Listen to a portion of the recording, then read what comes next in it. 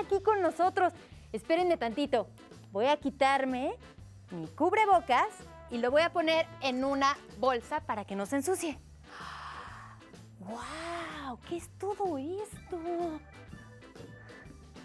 Hola, qué bueno que ya están aquí en Aprende en Casa 2.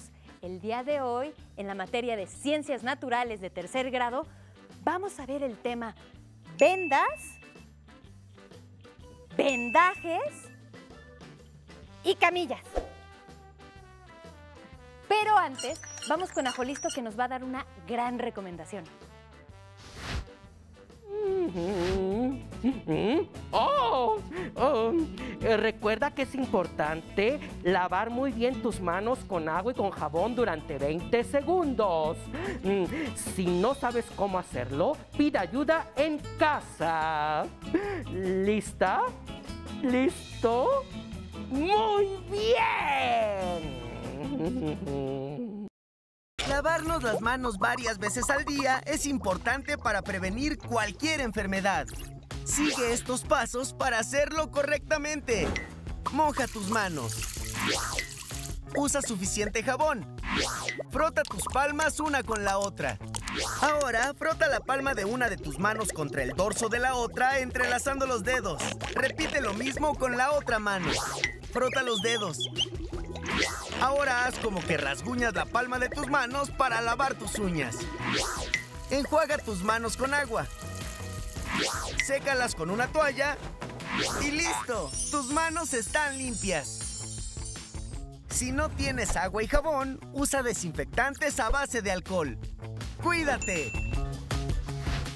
Gracias Ajolisto por tu recomendación. Y en casa recuerden que es muy importante mantener muy limpias nuestras manos. Ahora sí, para ver el tema de hoy, vamos a invitar a la maestra Ruth. Hola Ruth. Hola, ¿cómo estás? Muy bien. Me da mucho gusto verte, déjame quito mi cubrebocas. Sí.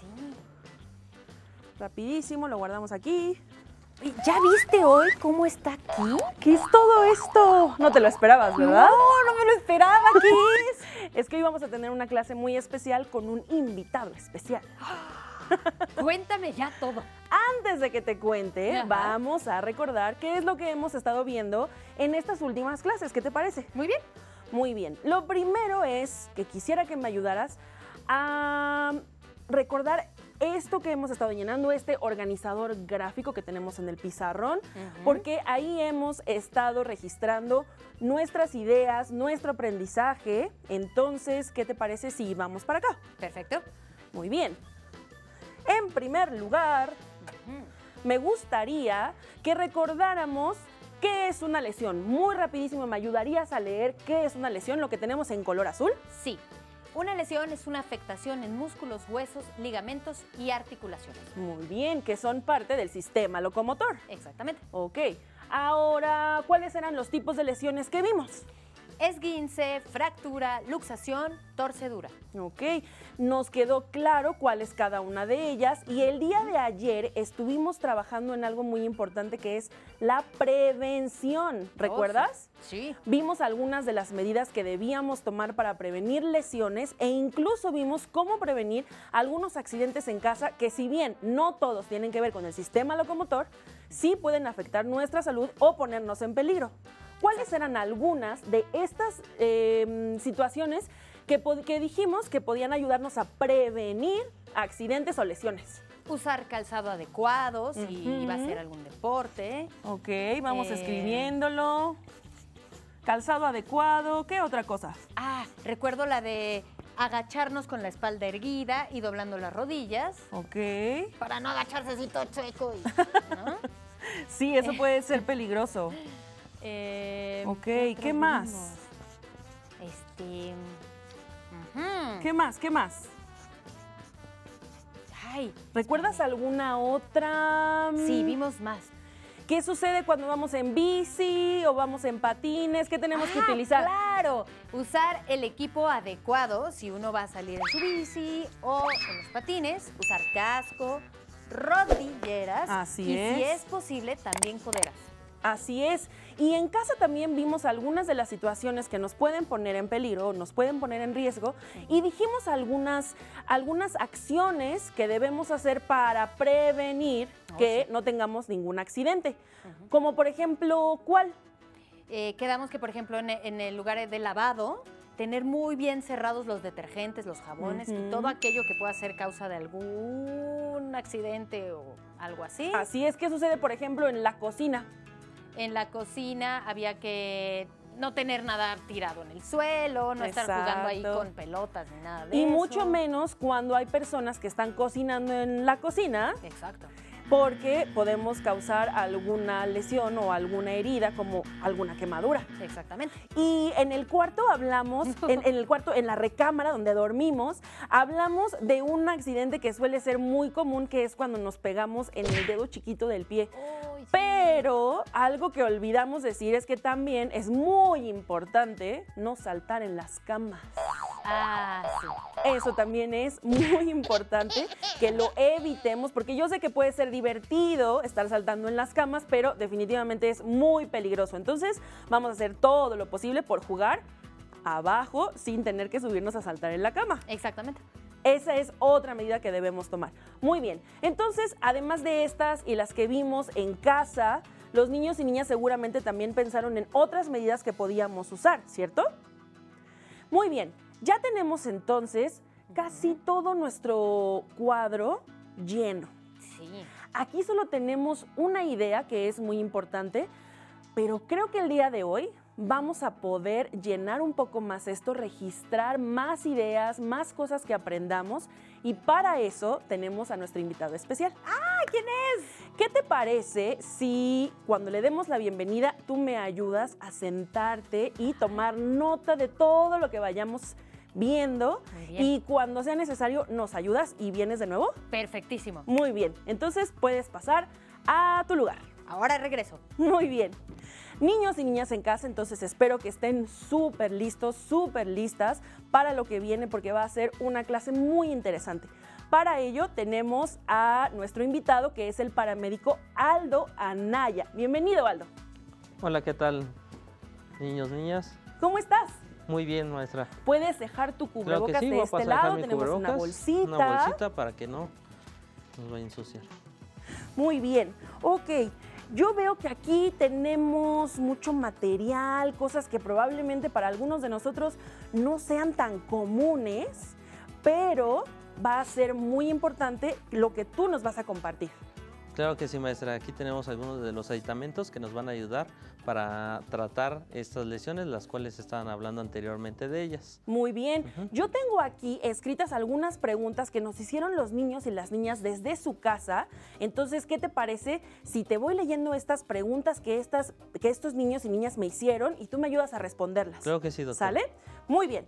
Ok, entonces tenemos la primera pregunta que nos hizo Arturo, ya la encontré, muy bien.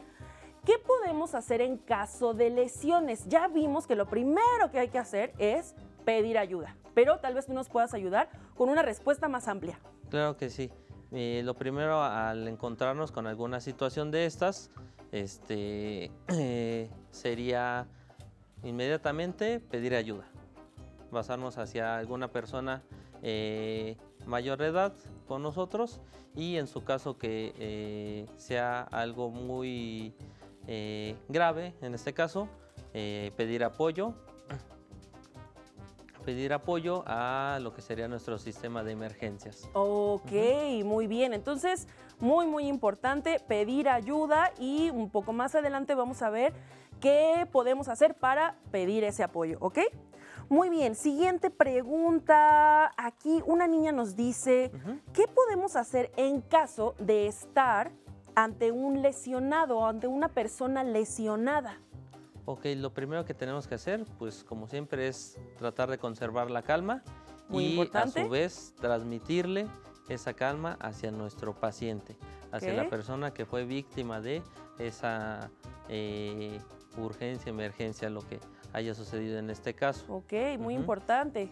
Eso sería lo primordial ante esto.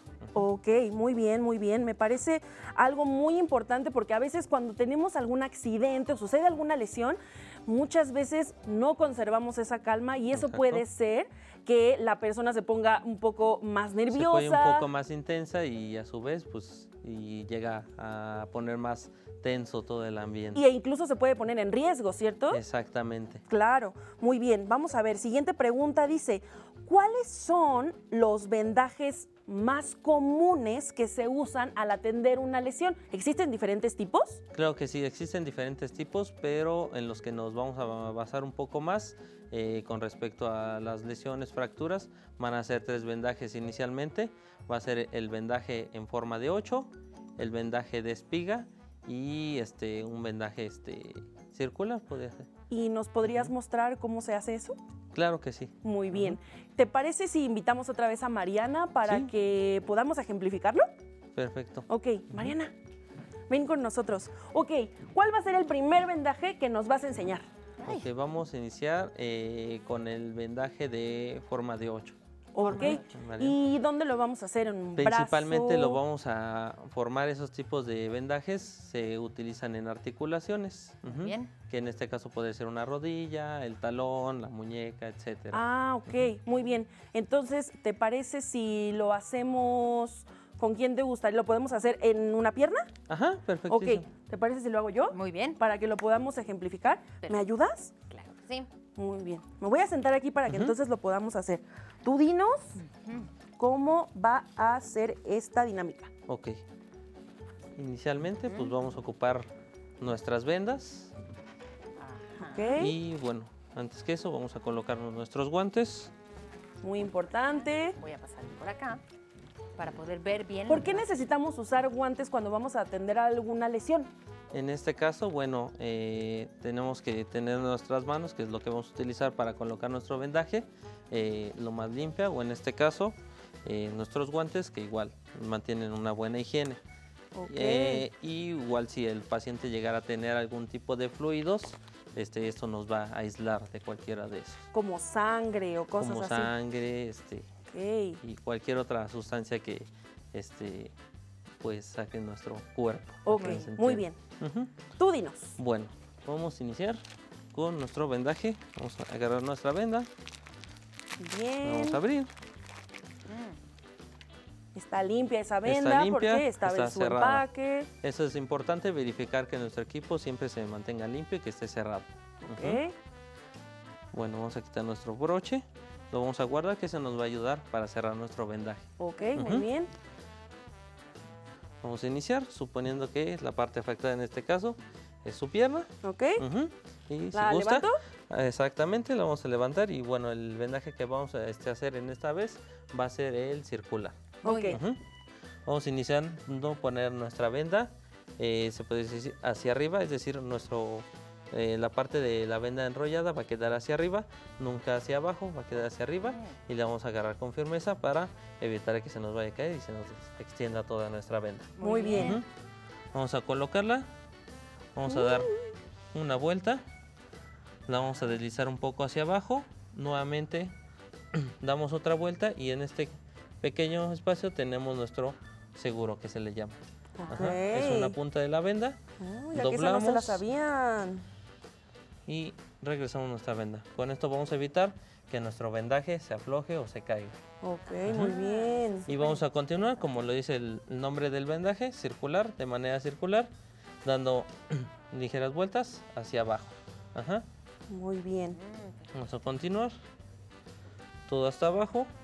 Incluso este tipo de vendajes nos ayudan para eh, sostener, en este caso si tuviéramos alguna hemorragia, cohibimos la hemorragia con algunas gasas y este vendaje nos va a ayudar a sujetarla o igual nos puede ayudar a sujetar algún tipo de curación. Qué bien. Y queda muy seguro. Sí. Terminamos nuestro vendaje en la parte de abajo, igual nuevamente con nuestro vendaje circular. Doblamos nuestra venda y Segurito.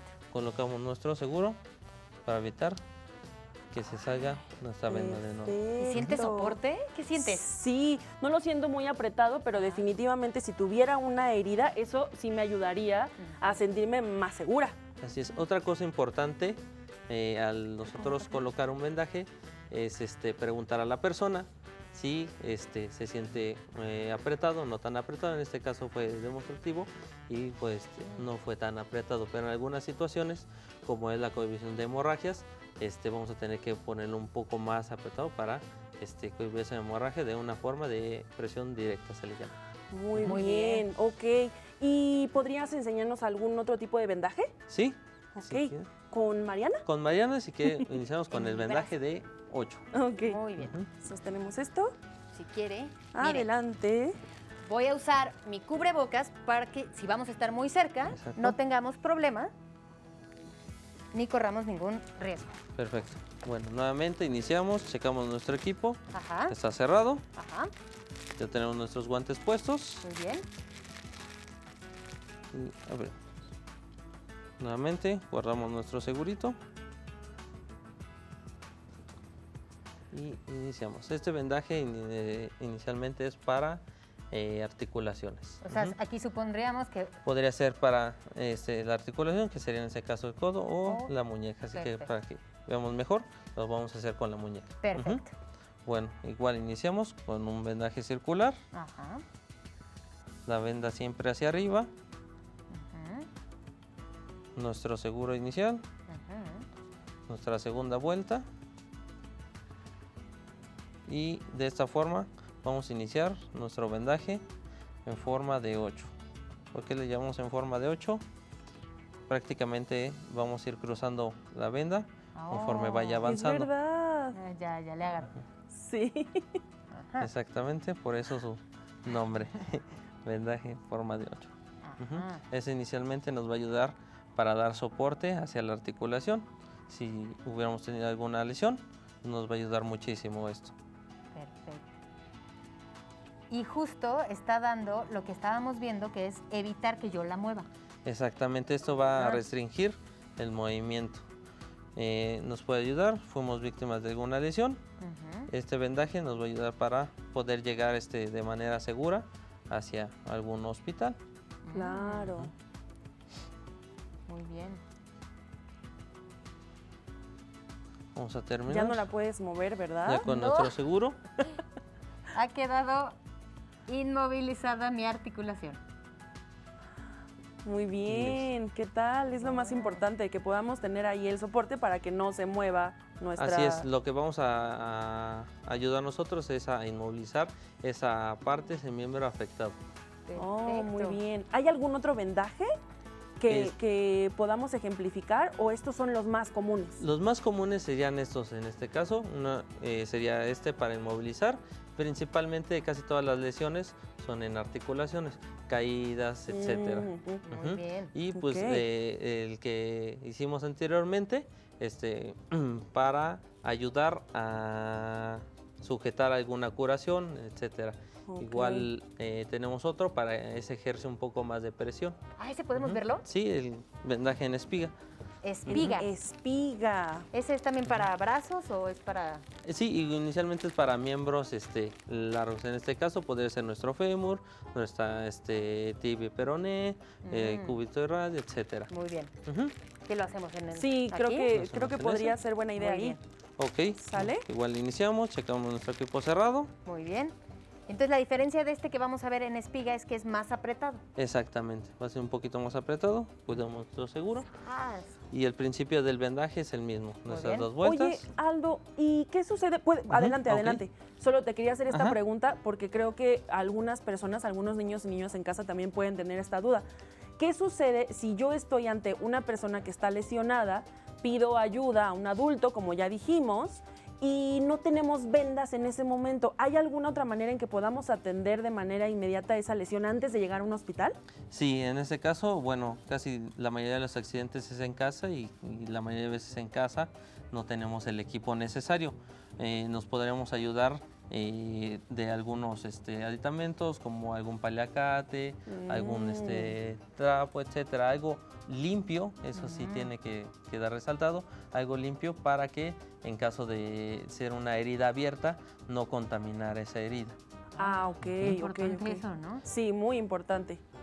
Ujú. Ok. Este vendaje, como les decía, va de manera cruzada y va a ejercer un poco más de presión. Ujú. Aquí Ah, vamos a ver Claro.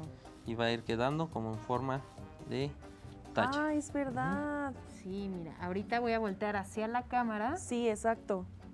No sé si se alcanza a ver aquí como exactamente aquí se ven unos tachecitos. Es que me- justamente va cruzado. Y sí, este está mucho más apretado. Mucho más que el circular o que el, el que es en forma de 8. Así es, igual terminamos con el vendaje circular y vamos a colocar nuestro seguro. Incluso este se hizo un poco más este, Ajá. suave, y- pero sí ejerce un poco de presión. Depresión, Qué exactamente. interesante. Bueno, eso, eso es en cuanto a los vendajes, pero Ajá. yo también he visto que hay diferentes tipos de camillas que se utilizan. Así ¿Es, es. verdad? ¿Sí hay más de un tipo de camilla? Así es, tenemos varios tipos de camilla. En este caso, eh, bueno, tenemos la, la principal, pero también se cuentan con más tipos de camillas que este, pueden servirnos para algunas otras tareas, como algún tipo de rescate. Algunas tienen otras este, sujeciones para colocar cuerdas, etc. Oh, ok, Ujú. ok, ok. Este, este tipo de camillas, ¿para qué nos puede servir? Eh, este tipo de camillas pues, nos puede servir para, como lo decíamos, alguna lesión que tuviéramos en casa, inclusive algún accidente automovilístico, se denomina FEL, que su significado es férula espinal larga. Oh, Fel.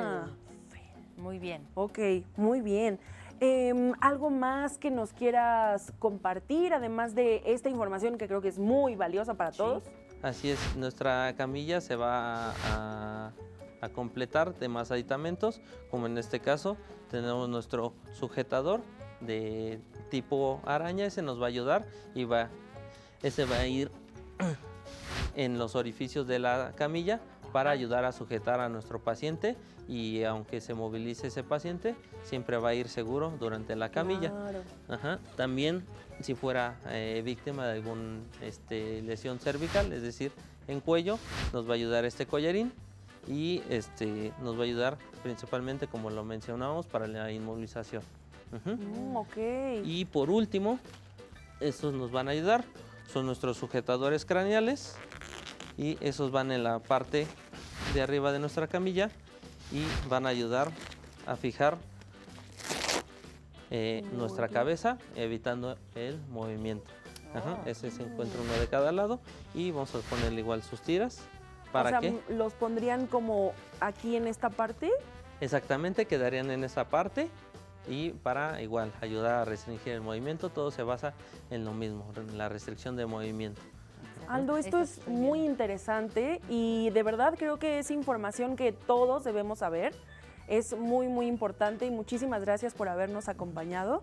Creo que esto nos deja una idea mucho más clara Sí. sobre qué es lo que podemos hacer. Recuerden también que los paramédicos como Aldo trabajan en situaciones emergentes y para eso utilizan un vehículo especial que es la ambulancia, ¿cierto?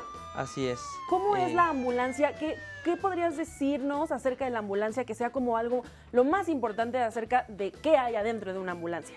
Bueno, inicialmente tenemos estos aditamentos eh, y bueno, tenemos un poco más que son nuestros botiquines en los cuales contamos los insumos para la atención de ese paciente, como pueden ser vendas, gasas, este, soluciones, que en este caso serían los sueros, nuestros equipos de menoclisis, punzos, jeringas, demás medicamentos para poder darle esa buena atención al paciente. Ok, yo creo que necesitaríamos muchas más clases Uy. para poder entender todo eso que hay en una ambulancia y que definitivamente es útil para cada caso de emergencia que se presenta, ¿cierto? Así es, es un tema un poco extenso, para esto. Pero en general están capacitadas las ambulancias para tener todo lo necesario antes de llegar a un hospital. Exactamente, se cuenta con todo eh, lo necesario mínimo para este, atender cualquier tipo de, de lesión, enfermedad, etcétera.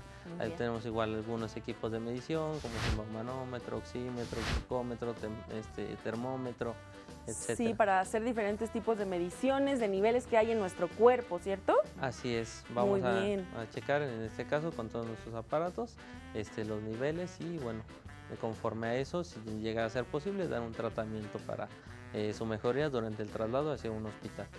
Pues muchísimas gracias. No sé si Sí. tengas alguna otra pregunta. No, ¿No? Me, me ha quedado claro esto de la inmovilización. Eso es muy importante, siempre regresamos a eso. No moverse, si tienes cualquier percance, no moverse. Así es, no moverse hasta que llegue alguien mucho más capacitado para poder atender ese tipo de emergencias. Exacto. Pues muchísimas gracias, Aldo. Mariana y yo nos vamos a quedar aquí porque todavía vamos a realizar algunos puntitos importantes que hay que recordar, pero te agradecemos que hayas estado con Claro que nosotros, sí. que nos hayas enseñado esto que es tan importante y que los niños y las niñas también lo hayan tenido muy claro en casa. Esperemos que sí. Muchísimas Muchas gracias. No, ¿de gracias? Aldo. Muy bien. Oye, Ruth, Dime. yo estaba pensando, yo sabía que los primeros en llegar siempre a, a una situación así es la Cruz Roja.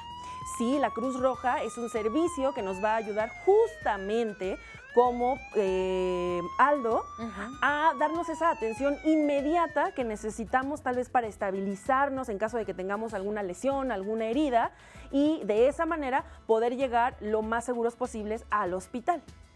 Perfecto. Si tú todavía no conoces cuáles son los números de la Cruz Roja, es muy importante que los tengas. Yo aquí los tengo apuntados para que no se me olviden. Esos números son 065 en caso de que hables desde una casa, una oficina, una escuela. Y si es que hablas desde un teléfono celular, puedes utilizar el número 114. Muy bien. 114. Esos son los números de la Cruz Roja y como ya te dijimos es muy importante que además de esos tengas a la mano números de emergencia, otros números de emergencia. Como eh, esos números son diferentes dependiendo de la entidad federativa, es decir, depende del estado en el que vivas. Yo te invito a ti que nos estás viendo en casa que investigues con tu mamá, con tu papá, con algún adulto que esté contigo, cuáles son esos números de emergencia a los que tú puedes llamar. Son números a los que tú te vas a comunicar en caso de que sufras algún accidente o te encuentres en alguna situación de riesgo que ponga en peligro tu salud. Entonces, investiga esos números porque en cada estado son diferentes y apúntalos, tenlos en algún lugar visible en tu casa para que todos los miembros de tu casa sepan cuáles son esos números y los tengan a la mano en caso de necesitarlos, que espero que no. Sí, esperemos que nadie los tenga que usar, pero muchas gracias Ruth por venir Muchísimas gracias a ti. compartirnos tu conocimiento y por traer a este invitado tan especial que ahora sí nos dejó todo mucho más claro. Muchísimo más claro. Muchísimas gracias a ti y espero que hayan disfrutado esta clase y si tienen alguna duda, por favor, pregunten a su maestra o a su maestro para que podamos aclararla. Sí, muy bien.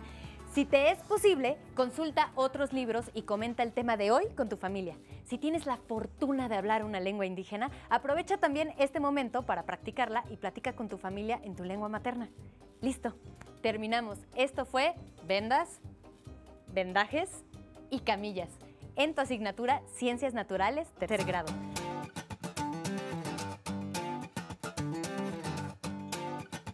Pero antes, ¿sabes qué?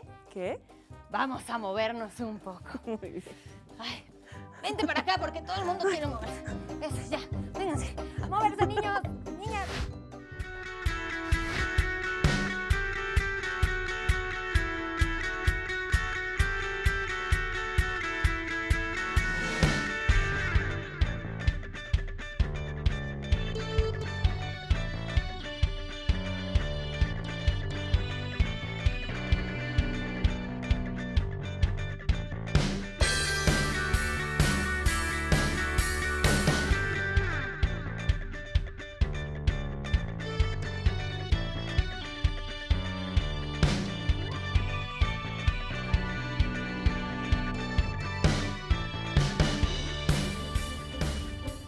necesitas ayuda para resolver tus dudas, contáctanos.